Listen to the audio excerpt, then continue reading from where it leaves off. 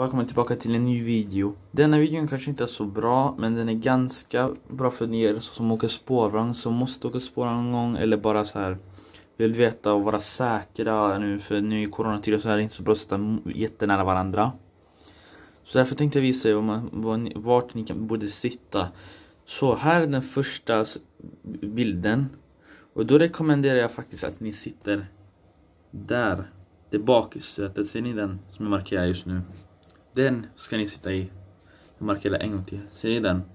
För där bakom er så kan ingen hosta på det något. Framför kan de hosta för de kommer de förmodligen hosta framåt och inte bakåt och det är så här vända sig om de inte är så dumma. Det är min rekommendation. Eller om det till exempel är trångt på sätena så här. Då kan ni ju sitta mellan, för ni vet att det är någon koppel där mellan två spårvagnar. Där borde ni sitta som jag markerat nu. Där borde ni sitta, där borde ni stå menar jag, för alltså man kan inte sitta där.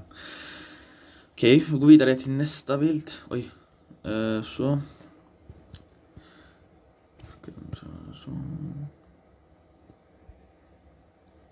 Jag vet inte var den tog vägen men.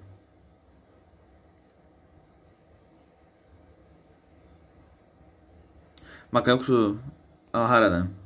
Också så kan ni också, borde ni om man vill ha det säkra så kan jag också sitta längst bak där borta. Där jag gissar just nu. För där borde det inte vara några. Eller så, det är inga bakom dig eller, som, eller framför dig som kommer hosta på dig.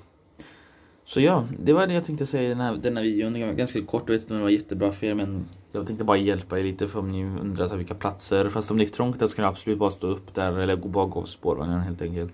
Tack för att ni kollade på den här videon, glöm inte att prenumerera på min kanal så ses vi i nästa video för nu ska jag gå och äta på Max. Hej då!